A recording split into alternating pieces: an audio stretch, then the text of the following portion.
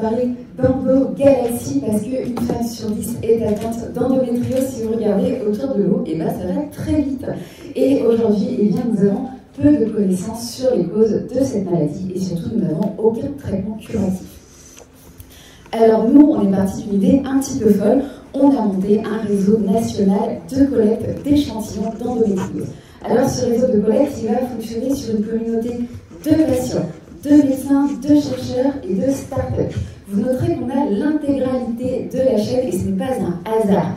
Nous, ce que l'on veut, euh, c'est déjà éviter la perte d'informations qui pourraient nous être utiles au niveau scientifique entre tous les échelons, mais aussi instaurer une démocratie sanitaire pour retrouver tout simplement la confiance des patients qu'on a perdus avec les divers scandales sanitaires.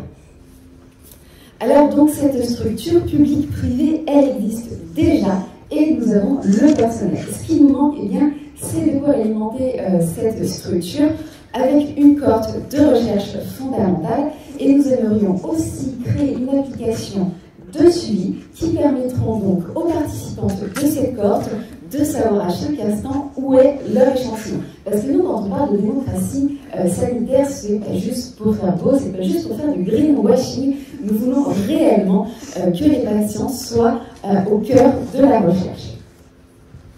Alors oui, on sait, le gouvernement a annoncé il y a peu que lui aussi souhaitait faire de la recherche, mais nous, on est très bien placés pour savoir que pour constituer un réseau tel que le nôtre, il leur faudra au moins trois ans. Et nous, eh bien, notre réseau, il est déjà prêt.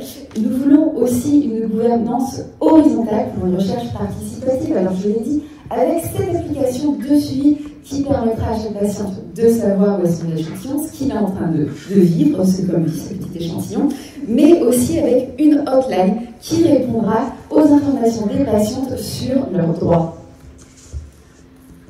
Bien sûr, si euh, on trouve, et on va trouver, si on, parce que jusqu'à maintenant, si on n'a pas trouvé, c'est aussi parce qu'on n'a pas vraiment cherché, euh, les résultats de ces recherches pourront être confiés à des startups éco-citoyennes qui pourront développer des traitements. Rappelons que si on trouve un traitement, c'est pas moins de 200 millions de malades qui pourront en bénéficier.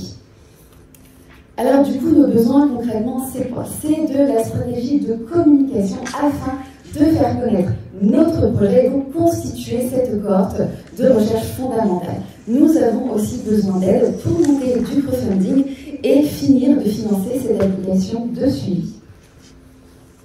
À court terme, nous souhaitons donc étudier ces échantillons, à moyen terme comprendre les causes de l'endométriose et, osons le dire, à long terme, nous, ce qu'on veut, c'est un traitement. Parce qu'encore une fois, si on cherche, on va trouver.